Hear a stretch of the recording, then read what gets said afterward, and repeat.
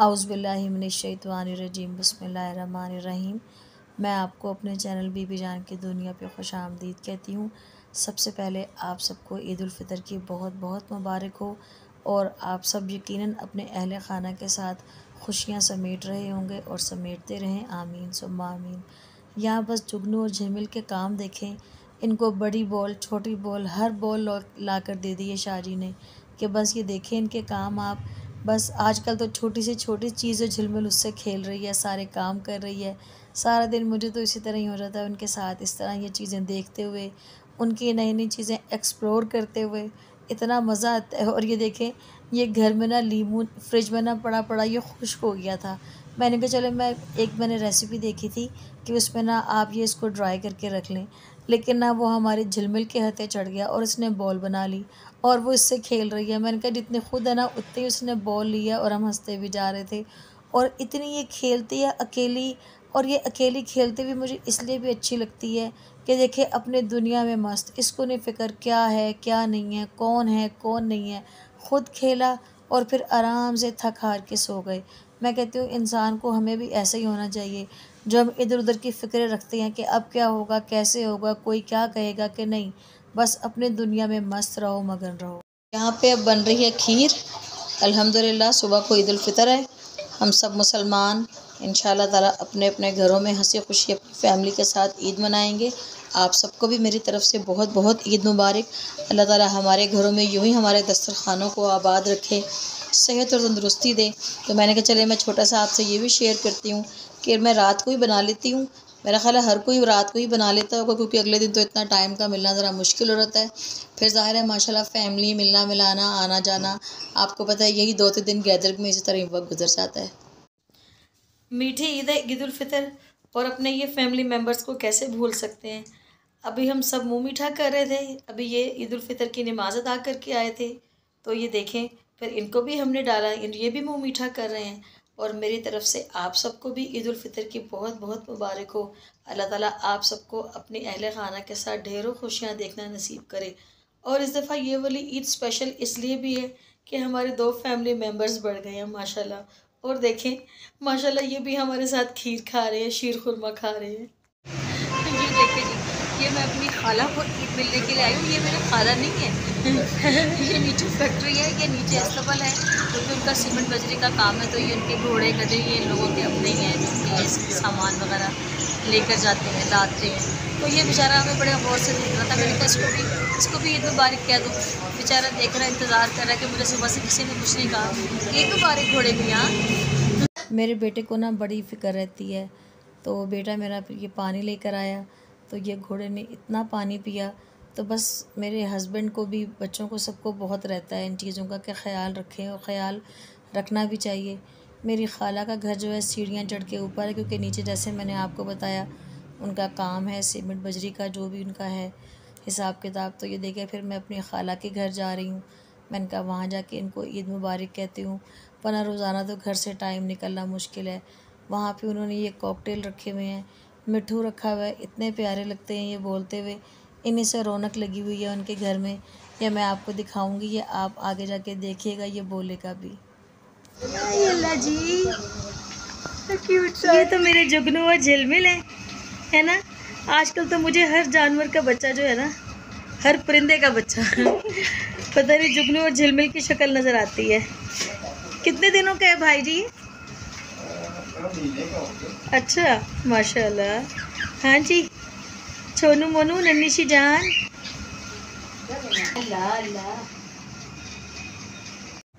और ये आप मियाँ मिठू को देखें जहाँ जहाँ मेरी खाला होंगी तो वहाँ वहाँ ये साथ साथ उनके जाएगा और बोलता रहेगा। अब वो आवाज़ ही निकालेगा। ऐसे निकालेगा।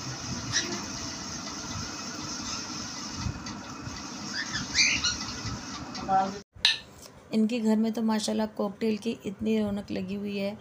जो मेरे खालू हैं, वो मेरे चचा भी हैं। तो लेकिन जितने भी नया हम सारे, उनको भाई जी ही कहते हैं शुरू से। तो वो हम यही उनको कहते हैं कि भाई जी आपके घर में तो रौनक लगी हुई है। ये आप देखें, इन्होंने इनके पर काट दिए हुए हैं और ये नीचे नीचे ही इनके पास फिरते रहते हैं। और इन्हीं से इनके घर में रौनक है, क्योंकि जो मेरे खाला और खालू हैं, अल्लाह ताला ने इनको औलाद नहीं दी। ये उसी के बा, बातें हैं उसी का करम है उसी के फ़ैसले हैं। इंसान तो बेबस है। तो उन्होंने अपने घर में ना अब यही चीज़ें रखी हुई हैं। इन्हीं से दिल लगाया हुआ है। माशाल्लाह दोनों नमाज़ तहजद गुजार हैं और साथ ही ये इन चीज़ों से भी माशाल्लाह सारा दिन बस रौनक लगी रहती है उनको। बल्कि मेरी खाला की तो तबीयत भी आजकल सही नहीं रहती। लेकिन वो कह रही हैं कि मैंने कल रोज़ा भी रखना है इन ताला।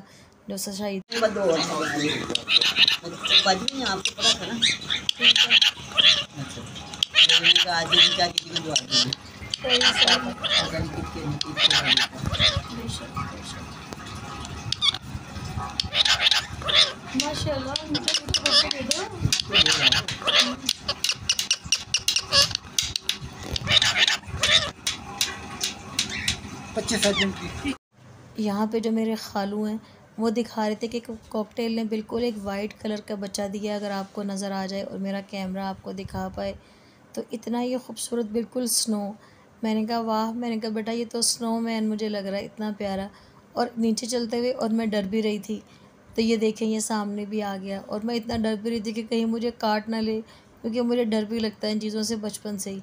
लेकिन उन्होंने कहा कि ऐसी कोई बात नहीं है। पहले तो इनके घर में बहुत परिंदे थे, बहुत ज़्यादा। लेकिन अब जैसे जैसे इनकी उम्र बढ़ गई है, इनकी केयर भी चाहिए तो इतनी केयर नहीं कर सकते। लेकिन अभी भी माशाल्लाह काफ़ी इनके घर में रौनक है और ये चीज़ें हैं। बस सारा दिन दोनों मियाँ बीवी मेरे खाला खालू इन्हीं चीज़ों में लगे रहते हैं। पहले तो खरगोश के बच्चे और पता नहीं क्या क्या चीज़ें इनके पास थी। जब हम वापस अपने घर आ रहे थे तो ये देखें, ये एक साहब बहादुर जी, जो कि आराम से घोड़े पे घुड़सवारी कर रहे थे। मैंने कहा, वाह जी वाह, हर कोई अपने अपने स्टाइल से ईद मना रहा है। और जब मैं घर वापस आई तो मेरे शाहजी ने ना ये देखे ये बोगन बेल हमने पौधे में ही लगाई हुई है। तो उसने अपने फूल दिए हुए थे तो मैंने ये बनाया मुझे इतना प्यारा ये नज़ारा लगा। मैंने कहा आज ईद है तो देखे मैं आपको अपने ये फूल भी दिखाती हूँ।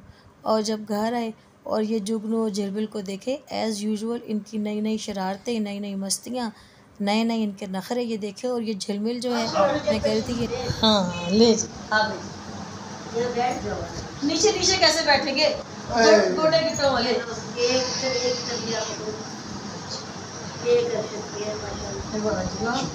अच्छा जी। एक पकड़े दोनों पकड़े। भाई हमें कुछ छुट्टा दे दिया छुट्टा। छुट्टी टूट जाएँगे ये ये देखे हमें सौ का नोट दिया हज़ार हज़ार मैंने भी यही कहा है। अहम सवाल उठाया मैंने। मुझे भी सौ सौ अब ये बच्चों का आठ। नौ दस। वैसे तो भैया दस नोट है लेकिन इतनी मोहब्बत से आपने पूछा सौ दो सौ दे दो। सबसे पहले मैं हाँ जी। भाई सबसे पहले तो ला रहे हाँ। जी। सबसे पहले पापा लो जी लो जी ला रहे हैं। पीछे बैठो सलाम करो। हाँ जी। नारियल से प्यार करवाओ। दुआएँ लो। चलो। हाँ जी। अल्लाह ताला सब बेटियों के नेक नसीब उसके बाद मैं आई थी ये कैसी तारीफ़ है भाई? चलो क्या बात है? यार चार्जर कहाँ पे चार्जर और असर रह गया जी। आगे बढ़ो। आप भी आगे हो ना अम्मा जान के पास। और हारून हारून रह गया। देख लो खुद को याद है सारे? असद और हारून हाँ? जी। पहले माँ बाप आ जाए। अम्मी बाजू पहले। चलो जी। ये बहुत बहुत शुक्रिया आपका चलो अभी बच्चा आएगा बच्चा नंबर मैं मैं तो रह गया। ओहो आपको में मिलेगी। चलो। शुक्रिया बच्चा नंबर टू। वाह जी वाह चलो जी। वाह जी वाह ये कितने ये ये आपके और आयशा की। तो ये आपके तीनों बच्चों की। आपको पता है कि ईद की खुशियाँ तो फैमिली के साथ ही होती हैं। ईद की रात हमें अम्मी मेरी अपने घर बुला लेती हैं। छोटा भाई है वो भी आ जाता है अपनी फैमिली के साथ। तो मेरी अम्मी जो है मटन कौरमा बनाती हैं। फिर हम सब अम्मी को कहते हैं कि अम्मी आप अपने हाथ से ही हमें सबको डाल के दें। बचपन के हमें दिन याद आ जाते हैं। सब ही हा करते हैं इन्जॉय करते हैं और फिर अपने घर को वापस आ जाते हैं। अपने अपने घोंसलों में वापस चले जाते हैं बस। यही होता है कि बस थोड़ा सा वक्त निकाल के आप अपने बड़ों के पास बैठें। अल्हम्दुलिल्लाह। लो जी ये देखिए मेरे छोटे भाई के कारनामे। ये कह रहे हैं, हाथ का कीमा ऐसे बनता है?